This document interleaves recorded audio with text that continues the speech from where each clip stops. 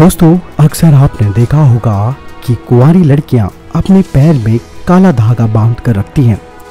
पर क्या आपने कभी सोचा है कि वे ऐसा क्यों करती है?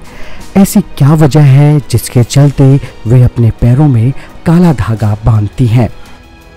यदि आपको ये बात नहीं पता तो आज मैं आपको इस वीडियो के माध्यम से बताने वाला हूँ।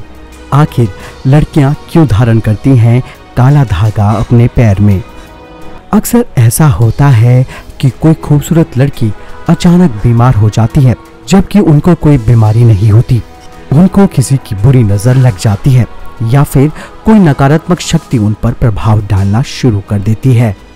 इसीलिए लड़कियाँ नकारात्मक चीज़ों से बचने के लिए अपने पैरों में काला धागा बांधती हैं। साथ ही उनको कोई बुरा सपना ना आए, ये वजह भी इसके पीछे गिनी जाती है।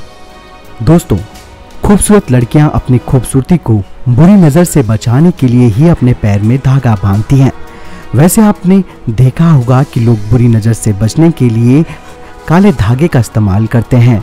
वैसे ये बात तो एकदम सही है कि लड़कियाँ बुरी नज़रों से बचने के लिए अपने पैर में काला धागा बांधती हैं।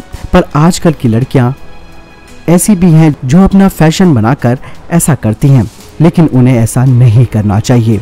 तो अब आप समझ गए होंगे कि लड़कियाँ अपने पैरों में काला धागा बांधती हैं। ये कोई फ़ैशन नहीं, बल्कि इसके पीछे की ये प्रमुख वजहें हैं, जिसकी वजह से लड़कियों को ऐसा करना पड़ता है। दोस्तों, क्या आपको मालूम था कि लड़कियाँ क्यों बांधती अपने पैर में काला धागा?